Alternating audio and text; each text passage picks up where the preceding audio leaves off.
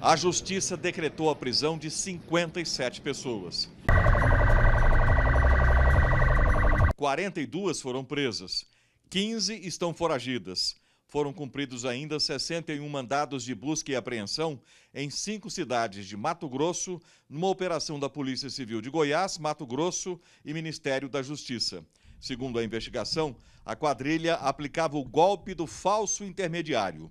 As vítimas eram escolhidas por olheiros que conseguiam se infiltrar em grupos de mensagens de produtores rurais. Eles conseguem se imiscuir, adentrar alguns grupos, de, principalmente o WhatsApp, né, de mensagem instantânea, onde são anunciados, ofertados é, essas cabeças de gado. Nesses grupos, muitas das vezes, estão presentes corretores, compradores e vendedores, todos eles lícitos, né, todos eles legítimos de, de gado.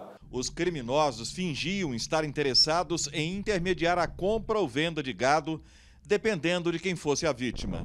De um único produtor rural de Goiás, foram negociadas 650 cabeças de gado.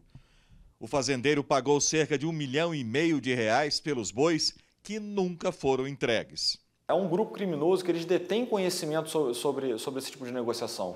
Então, eles já conhecendo o mercado, conhecendo como funciona, eles vão mantendo, vão construindo relacionamentos no que a gente chama de engenharia social e conseguem enganar os corretores e, através dos corretores, chegar e acabar vitimando tanto o comprador quanto o vendedor. Os bandidos aproveitam que o sinal da internet na zona rural é ruim para ganhar dinheiro. Infelizmente, é uma prática criminosa que ela visa também essa, explorar essa, esse déficit de, de, sinal de internet no meio rural. Então, eles acabam contando com, a, com essa falha da, da telefonia para ter um pouco mais de tranquilidade na aplicação desses golpes.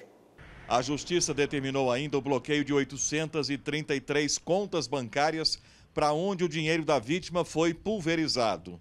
Na casa de uma das investigadas, a polícia encontrou 100 mil reais em espécie. Os envolvidos vão responder por fraude eletrônica, associação criminosa e lavagem de dinheiro, que juntos podem dar até 26 anos de cadeia.